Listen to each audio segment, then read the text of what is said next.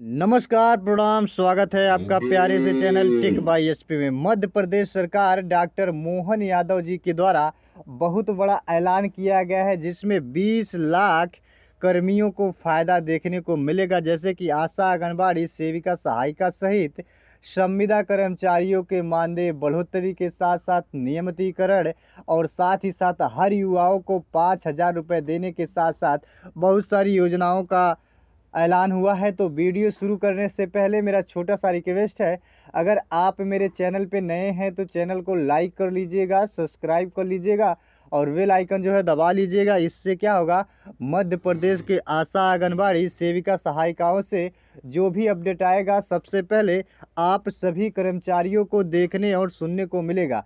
तो मैं आप सभी कर्मचारियों को बता देना चाहता हूँ कि मध्य प्रदेश के मुख्यमंत्री मोहन यादव जी का जो ऐलान सामने आया गया है, जिसमें आशा आंगनबाड़ी सेविका, सहायिका, ममता, जीविका रसोईया, इन सभी कर्मचारियों के मानदेय में सौ प्रतिशत की वृद्धि हो चुकी है।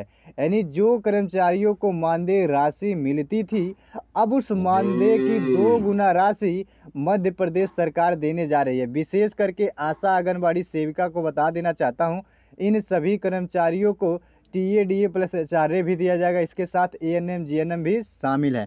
सभी कर्मचारियों को T A D A plus H R A दिया जाएगा। साथ ही साथ संविदा कर्मचारियों के नियमितीकरण पे भी मुख्यमंत्री जी ने कहा है कि जिन संविदा कर्मचारियों का अनुभव 10 साल से ज़्यादा का है और वह मध्य प्रदेश में संविदा पर कार्य करते हैं तो उनको मध्य प्रदेश सरकार एक सरकारी कर्मचारी का दर्जा देगी।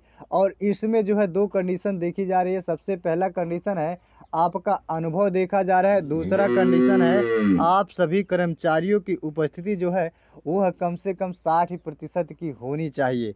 बता देना चाहता हूँ कि मध्य प्रदेश सरकार के द्वारा एक नई योजना लागू किया गया, जिसमें हर युवाओं को लाडली बहन योजना के तहत जैसे दिया जाता था, लाडली बहन योजना के तहत जैसे पैसा दिया जाता है, उसी तरह से हर बेरोजगार युवाओं को जो है पाँच हज़ार रुपये महीना देने का काम मध्य प्रदेश सरकार करने जा रही है और यह सब योजनाओं का लाभ नवंबर महीने में ही कंप्लीट हो जाएगा। उम्मीद करता हूँ वीडियो पसंद आया होगा। अगर वीडियो पसंद आया हो तो चैनल को लाइक और सब्सक्राइब करके बेलाइकन ज़रूर दबाइएगा। धन्यवाद।